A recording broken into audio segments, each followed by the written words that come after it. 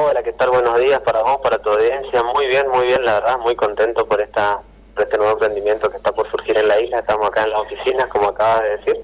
Y la verdad, con mucha expectativa por las obras que se van a realizar prontamente. Ajá, bien. Están, este sería eh, la primera fase de, de esta licitación, es la segunda apertura. ¿En qué instancia estamos, digamos, de previos a la construcción? estamos en la primera instancia, que es la preadjudicación. Hubieron tres ofertas eh, tres empresas diferentes que ofertaron. Eh, ahora van a estar en la etapa de estudios, ¿sí? Y un, un proceso bastante complejo, digamos, todavía queda un tiempito. Y este para eh, luego abrir el tema de las ofertas. Digamos, esta es la primera etapa de esa de esta licitación. Bien, bien, bien. Eh, Recordemos que ya se habían hecho anteriormente, ya se había licitado, pero habían, habían caído esas licitaciones, así que ah, volvió todo a cero y empezamos de vuelta. Claro, eh, para destacar eso, porque por ahí eh, nos recordábamos esos momentos ¿no? de apertura y de, varias ofertas.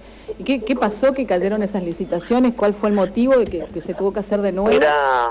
Fue una sorpresa para todos, la verdad que la isla tuvo con muchas expectativas por esa por esa obra, sobre todo porque es infraestructura, se está perdiendo bastante territorio con el del agua. Claro. Y la verdad que estábamos muy contentos y con muchas expectativas de que se pueda hacer esta obra. Después, la verdad que no, habíamos tenido información al respecto, se habían caído las licitaciones.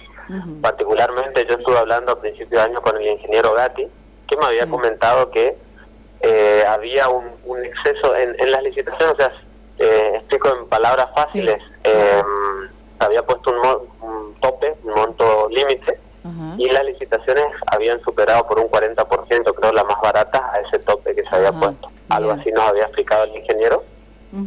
Eh, por eso se cayeron. que ver con eso. Pero ahora estamos con, exactamente, estamos con muchas expectativas de que ahora sí realmente ya se puedan realizar esas obras. Claro, decía usted que el agua está erosionando, se está llevando mucho, mucho, mucho territorio, ¿no? Eh, cada vez más, cada, vez más. Eso se nota Tenemos día una protección, sí, sí.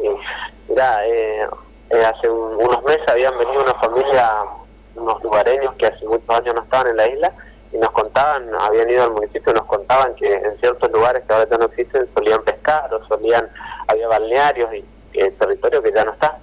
Tenemos una contención de piedra en San Antonio, unos kilómetros frente al puerto, frente a la represa, pero en las zonas más bajas cada vez se está perdiendo más territorio, sobre todo en la playa, sobre todo en la playa. Claro, claro, claro. Si no se atiende eso, se va, prácticamente se terminaría con la parte de tierra, ¿no? Con el, teniendo en cuenta el movimiento de las aguas y todo lo que implica la represa, ¿no? Y todo lo que va generando alrededor con los años, con los años, obviamente, seguramente cada vez se irá perdiendo más, pero por suerte ahora ya. Te comento para toda la audiencia, sobre todo que hay mucha gente isleña que está escuchando o gente de Ituzaingó que le interesa. Recién estuvimos hablando con el, con el encargado de las ejecuciones de obras, algún, el, proyecto en sí para para empezar a conocer, la verdad que no teníamos mucho conocimiento de cuál iban a ser precisamente las obras. Se van a hacer más o menos seis espigones a lo largo de Punta Aguirre, ¿sí? Se va a hacer un refulado de arena, se va a hacer un, muelle de contención y una bajada para el puerto de carga, que justamente, y fíjese la casualidad, estuve hablando unos minutos antes con el intendente de Burna, de Tuzengó, le comentaba que nuestra situación de los puertos, ya sea el de lancha de pasajeros y el puerto de carga, de la balsa, están en una situación precaria, precaria al máximo. Ahora que bajaron las aguas, la balsa no podía entrar cómodamente a su puerto con la, preocupación de la falta de, de insumo que eso acarrea, ¿no? Así que bueno, todo esto va a venir a, solucionar todo, toda esa parte, ¿no? Eh... Mira, la verdad que cuando lo escuchaba me sentí tan contento, tan contento que no, no podía creer, no podía creer, es la magnitud de la obra, así que la ah, verdad que va a solucionar dos problemas. Uno es la, erosión del suelo y el otro es el, puerto de carga que, lo necesitamos con, con urgencia. Constante, claro, claro, por el movimiento que hay constante entre entre, por ejemplo, Ituzaingó y, Isla, ¿no? Por el tema de, las mercaderías y demás. Y aparte, teniendo en cuenta eh, el otro elemento importante que está cobrando notoriedad, que tiene que ver con el turismo, ¿no?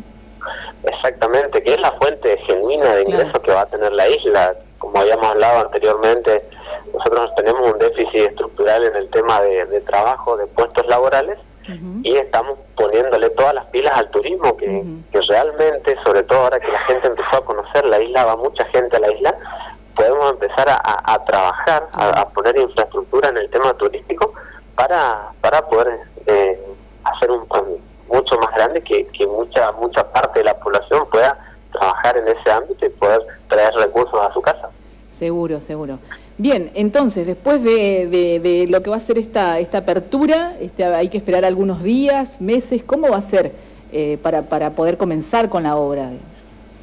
Eh, lleva el, paso protocolar metodológico que te había comentado al inicio, ¿sí? Ellos nos estarán avisando, lo que sí nos, más o menos nos adelantaron, que, van a ponerle todas las pilas como para empezar este año la ejecución de obra puntualmente, este año, ¿sí?